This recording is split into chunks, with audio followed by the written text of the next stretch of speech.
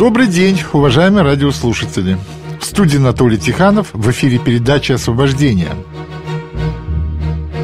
Усвятский район находился в оккупации более двух лет. Красная армия освободила поселок Усвяты еще в конце 1942 года. И только 26 октября 1943 года, это случилось 75 лет назад, немцы были окончательно изгнаны с Усвятской земли. В минувшую пятницу жители района торжественно отметили годовщину освобождения. Усвячане вспоминали войну, солдат, чьи братские могилы разбросаны по всему району как молчаливое напоминание о том жестоком времени. Каким каким оно было. Поговорим о войне, а также о том, как пришло освобождение заведующей отделом по музейной работе поселка Усвяты Екатериной Васиной.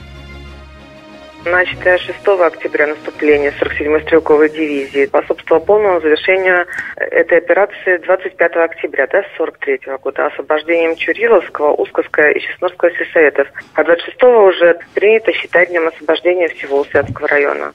Скажите, у немцев были какие-то укрепления построены вот возле Усвят и вообще на территории района? После освобождения Усвят наши заняли оборонительную позицию и находились опорные пункты по дороге Усвяты-Невель. Усвяты без боя немцы сдали, просто ушли и все? Э, освобождение Усвят 29 января 42 года, да, тогда они ушли без боя, потому что 51-я стрелковая бригада, которая освобождала, они захватили Усвяты ночью и захватили ее с северной стороны и окружив с западной и восточной стороны, приблизив к озеру.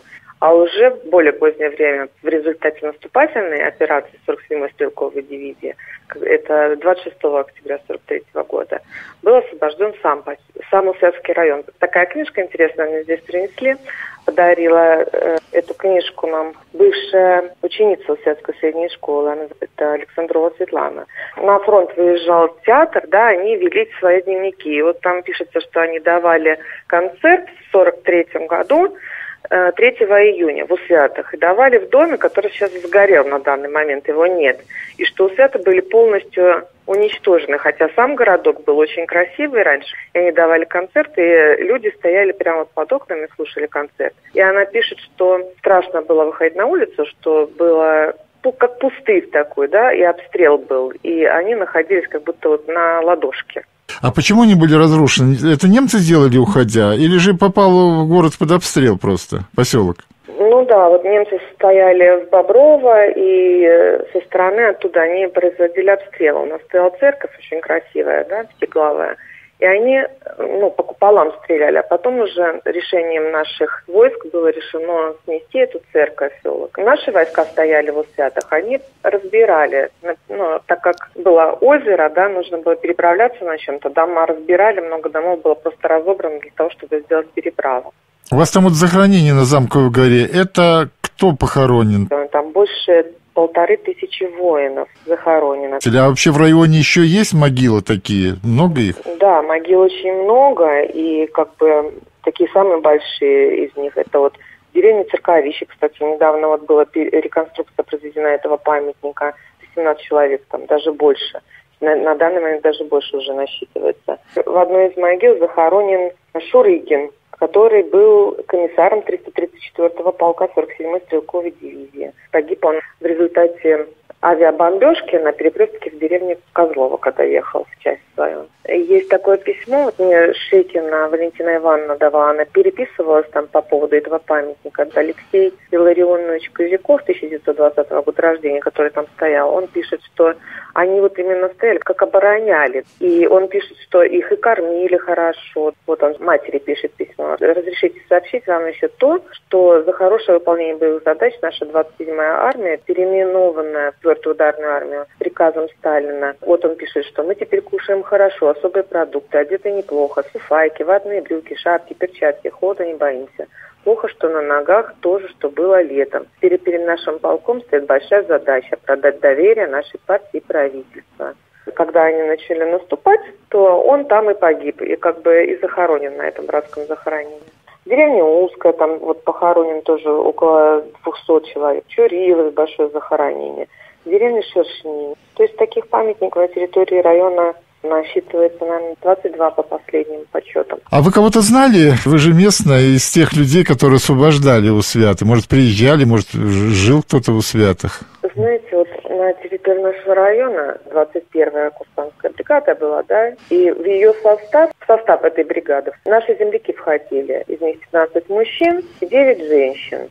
Вот я знаю точно, что был Государенко Михаил Елисеевич, он до сих пор еще живой, это участник Отечественной войны, участник освобождения нашего района, сапер 47-й стрелковой дивизии. Совсем недавно, наверное, в том году еще жива была Нина Терентьевна. Она была прачкой в этом батальоне. Михаил Елисеевич до сих пор до сих живет. Пор. Я вот к нему Ох. недавно заходила, да, еще в прекрасном здравии. Дай бог ему здоровья. Ну, большую работу проделал, все описал даже ну, там не столько, наверное, как именно его часть воевала, а вообще по Усевскому району по, по боевым действиям.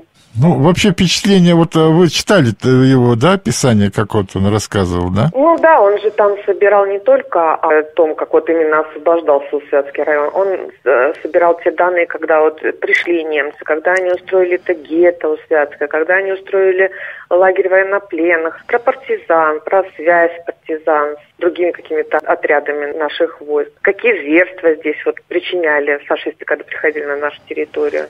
То есть много у свечан мирных погибло, да, во время оккупации? Да, во время оккупации, ну вот э, где-то около полторы тысячи наших местных жителей погибло. Партизаны действовали. Они были на территории Усвятского района или просто заходили с других э, мест на вашу территорию? В 1941 году, сразу когда немецко-фашистские захватчики пришли, да, то 10 августа из э, обкома партии были созданы партизанская бригада, короче, была угу. создана из вот этих, из коммунистов. Вот, она действовала на территории района. Потом еще в 41 году на нашей территории района действовал отряд батьки Миная Шмырева.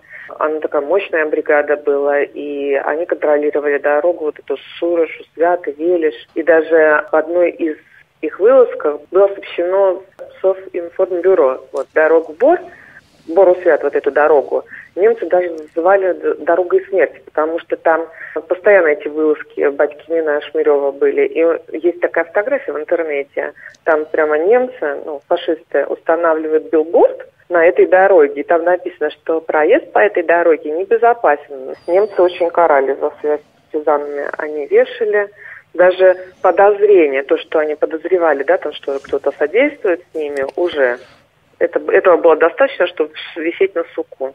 Так вот они повешали Баскова, который был у нас э, заведующим клубом в Святых, да, вот его повесили, вот где у нас памятник Ильичу Ленину стоит, да. Арка такая при входе в парк, и вот на этой арке его повесили с табличкой на груди, что за связь с партизанами, и водили местных жителей как бы в назидание, да, показывали, что вот так вот и будет и с вами. Ну, бабушка, как-то я ее спрашивала, она не любила про это рассказывать. Она помнит вот этот момент, когда, наверное, вот первые немцы, когда зашли. Вот а, первые, как-то, как она говорила, первые зашли и прошли. А вот после них, говорит, уже пришли страшные, говорит, какие-то рыжие бородатые. Эсэсовцы, наверное. Эсэсовцы, да, да, эсэсовцы, вот как раз они. А вот когда у Свято освободили, много жителей вернулось в поселок? Ну, вот конкретно так я не могу сейчас сказать. Да, ну конкретно. Но, но люди возвращались, это точно, потому что, ну, как бы я читала, что и слушала сама, там задавала вопросы, когда ходила интервью, там спрашивала у бабушек таких постарее. Вот, и говорили, что приехали, да, что свято было не узнать, что они были полностью разрушены. И они выходили на субботники бесплатно, по дням, э, как бы все это разгребали. Все улицы были завалены, и они это все разгребали, и им почему-то вот то, что землянки были наши, стояли войска, когда они жили в землянках. Наверное, из домов собирали вот эти землянки. А потом им же эти бревна нашим местным жителям продавали, и они ставили такие дома без пола. Ну, земляной вот. пол, да.